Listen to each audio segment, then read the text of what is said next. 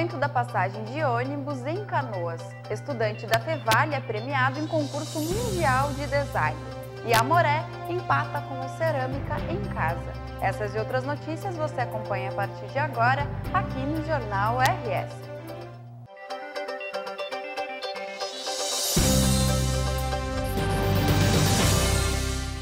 Olá, está começando agora mais um Jornal RS aumento da passagem de ônibus. As passagens de ônibus na cidade de Canoas tiveram um acréscimo de 15 centavos. Você acompanha a reportagem da TV Canoas.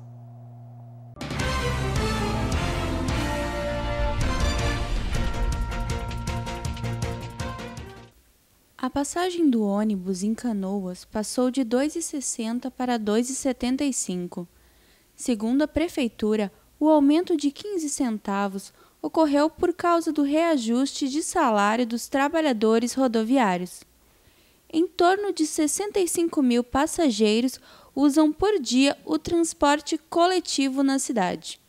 O aumento não foi muito bem recebido por usuários, que reclamam da falta de segurança e dos atrasos considerados grandes.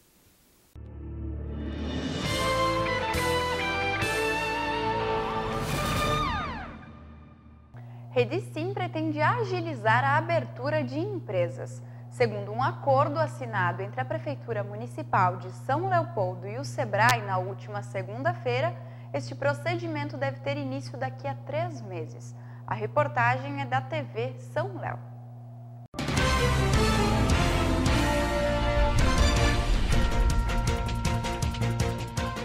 Rede Sim para agilizar pedidos de abertura de empresas.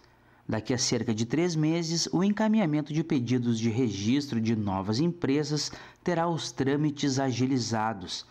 Rapidez proporcionada pelo convênio entre a Prefeitura e o Sebrae RS, assinado nesta segunda-feira, dia 4, para a implantação da Rede Sim, Rede Nacional de Simplificação do Registro e Legalização de Empresas e Negócios. São Leopoldo é o terceiro dos 16 municípios contemplados a assinar o termo de adesão. Porto Alegre e Guaíba adotaram um igual procedimento. Pelo projeto do Sebrae RS, serão investidos mais de 9 milhões na implantação da rede, o que beneficiará 205 mil empresas, ou seja, 49% das micro e pequenas empresas existentes no Rio Grande do Sul. O pronto acolhimento dessa demanda mostra que São Leopoldo sai na frente na criação de um ambiente favorável ao desenvolvimento das empresas, citou Marco Copete, gerente regional do Sebrae Sinos, Caí e Paranhama. Para o secretário de Desenvolvimento Econômico e Tecnológico Sandro Cássio, o próprio município dá exemplo da celeridade que se pretende imprimir na abertura de CNPJs entre a informação que tínhamos sido contemplados e a assinatura do convênio, levou apenas uma semana para consolidarmos esta parceria, destacou Cássio. Delmar Júnior para a TV São Léo, uma emissora da Rede Comunidade de Televisão.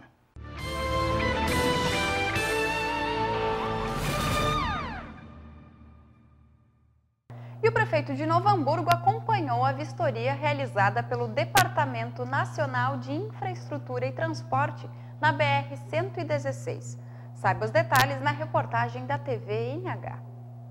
No dia 1 do mês de agosto, uma vistoria em trechos da BR-116 na região foi realizada por superintendentes do Departamento Nacional de Infraestrutura de Transporte, o DENIT.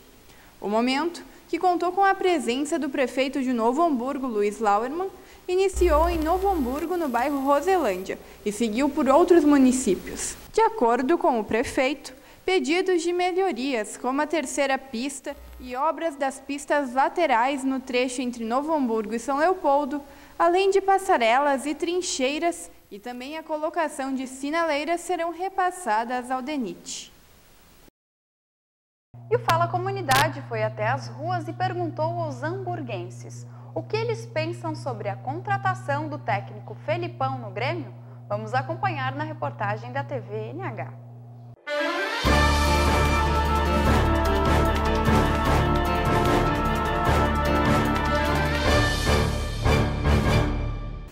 e o Grêmio fez uma nova contratação. Filipão é o novo técnico do tricolor gaúcho. O que os hamburguenses acharam dessa troca? O que veremos. Ah, o Filipão tem bagagem, tem, tem muita experiência e já foi um técnico aí no, do Grêmio. Enfim, muitas coisas uh, que vêm em prol dele uh, e já é grande amigo da torcida, grande amigo do presidente Fábio Cor. Enfim, né, uma, uma, várias coisas boas que, que vêm em prol dele. A torcida não tem muita. Uh, muito, como é que se diz, de criticar ele mesmo que vai dar errado alguma coisa. Mais ou menos assim. Tá é. certo então. Agora o Grêmio vai pra frente então, seria isso? Olha, a gente acredita que sim, mas eu não sou fanático por futebol. Já fui, hoje não. Esperamos agora ele recuperar os títulos que a gente não ganha há tempos, né, com o tricolor. Então agora o Grêmio vai pra frente. Esperamos que sim, né?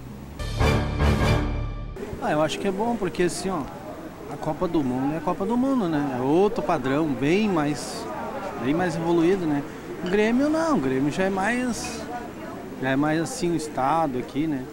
Então eu acho que é bom. Foi, boa, foi uma boa é escolha, então. É o Grêmio vai pra frente.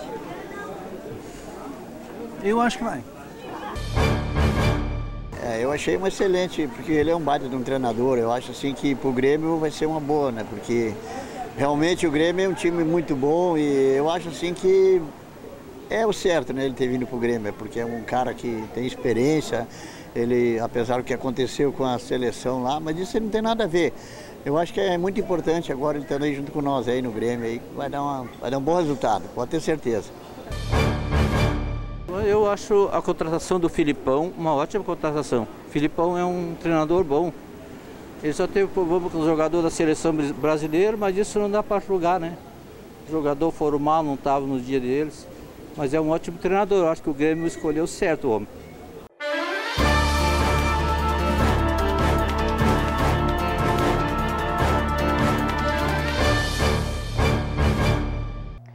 Estão abertas as inscrições para o projeto Juventude Conectada. As aulas devem iniciar no dia 22 de agosto. Saiba mais detalhes na reportagem da TV São Léo.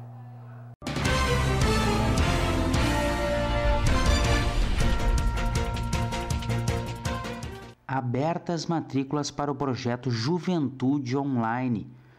Foram abertas as inscrições para os leopoldenses de 15 a 29 anos que queiram participar do projeto Juventude Online, desenvolvido pela Secretaria de Integração Social, dirigida por Marcelo Bus. A participação no projeto é gratuita e as aulas serão nas sextas-feiras, a partir do dia 22 deste mês. As inscrições devem ser feitas na SEMES, que está em novo endereço, na Rua Brasil 784. As inscrições devem ser feitas das 8 da manhã às 2 horas da tarde. Delmoray Júnior para a TV São Léo, uma emissora da rede Comunidade de Televisão.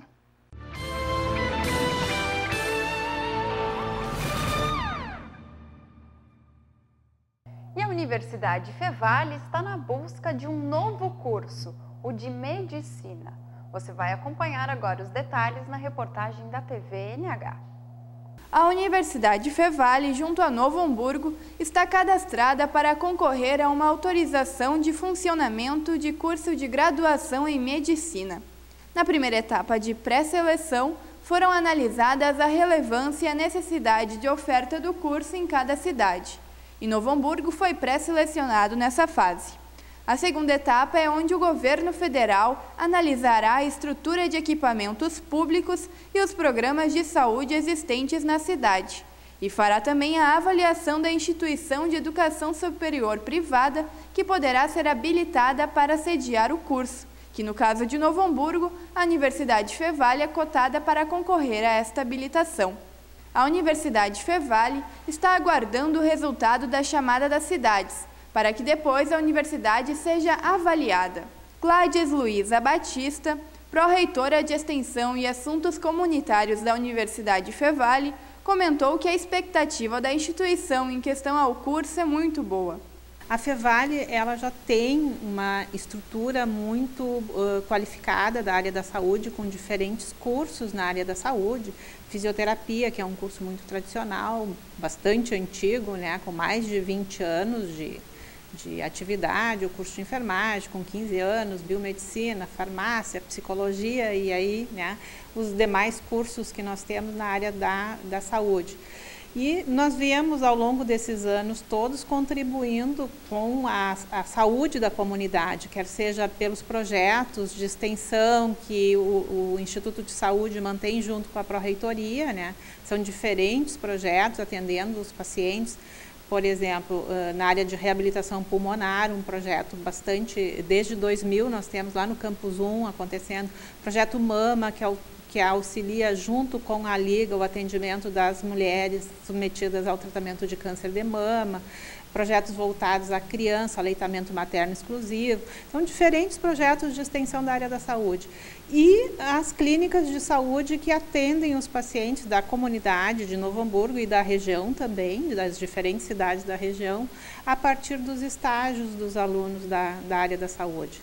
Gladys também falou sobre o projeto da instalação de uma clínica integrada de saúde que a Fevale possui. A construção da clínica, que terá cerca de 3 mil metros quadrados de área construída, deve iniciar ainda no final deste ano. A clínica de especialidade será de abrangência regional.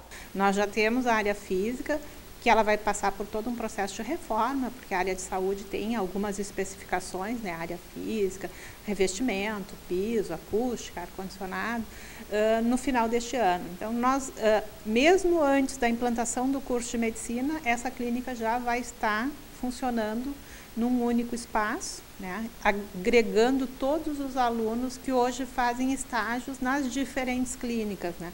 Todas elas têm um espaço físico num determinado andar de um determinado prédio. Agora todas estarão no mesmo espaço.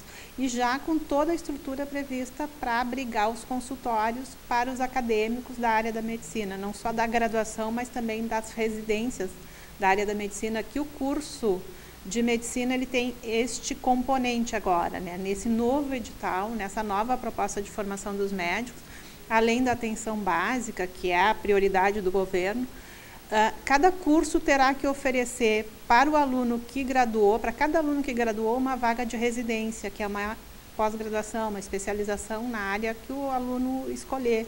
E óbvio que a universidade oferecer. Mas as áreas prioritárias são a pediatria, a ginecologia, a atenção básica, a clínica médica, a clínica cirúrgica. Então, esse espaço vai abrigar os alunos dos diferentes cursos da saúde, da medicina e os das pós-graduação, pós-graduações, das residências médicas e dos demais cursos que também podem fazer residência né, multiprofissional em saúde. De acordo com Gladys, a implantação de um curso de medicina na instituição só deverá agregar à universidade. Com a implantação do curso, consequentemente, existirá um envolvimento maior entre todos os cursos da área da saúde, o que vai gerar mais qualificação dos próprios cursos. A cidade e a região serão beneficiadas caso a universidade receba habilitação para sediar o curso de medicina. Foi o que lembrou a pró-reitora. E para a cidade de Novo Hamburgo e para a região né, do, do nosso, da, da, nossa abrangência da Universidade Fevale, com certeza a qualificação no atendimento, a partir da graduação, né, dos próprios alunos estagiários que vão contribuir com o atendimento e também com médicos bem qualificados, bem formados, que vão continuar trabalhando na região depois. Segundo o secretário de Cultura de Novo Hamburgo, o projeto É Música terá novidades na edição deste ano. Vamos saber quais são através da reportagem da TV NH. A principal novidade do projeto É Música é que muitas etapas ocorrerão neste ano nos bairros da cidade de Novo Hamburgo. As inscrições já estão abertas. Até o dia 17 de agosto as inscrições estão abertas, né? E elas podem fazer, podem ser feitas diretamente pela internet, tendo um arquivo com a música gravada, tendo a, a letra em formato é, em formato que tu não possa modificar, né? PDF, por exemplo, é só enviar para a prefeitura, né, pelo site da prefeitura mesmo. Então, até o dia 17 de agosto, todos os músicos podem mostrar o seu, seu trabalho é, aqui para Novo Hamburgo. É valorizar justamente o trabalho autoral do músico hamburguense, né? Aquele músico que além de executar, ele também cria novas, novas canções, novas propostas, enfim, né? É, valorizar esse povo, né? E mostrar que essa criação sempre é possível, que, né, que, que é, esse é o fermento mais importante da cultura, é a criação. Esse ano nós vamos, nós vamos conseguir fazer o que o ano passado a gente não conseguiu, de, de fazer etapas nos diferentes bairros da, da cidade. Dizer, vão ser quatro etapas, então vamos fazer no centro, vamos fazer em Canudos, vamos fazer no Santo Afonso e provavelmente também em Lomba Grande. Isso, no final as músicas, ah, os grupos classificados para a etapa final, as 12, são 12 classificados, eles é, se gravam um CD e um DVD com, com, com a apresentação deles. Né? E daí se distribui com, com bastante amplitude. Nós vamos a um breve intervalo e voltamos em instantes com mais notícias para você.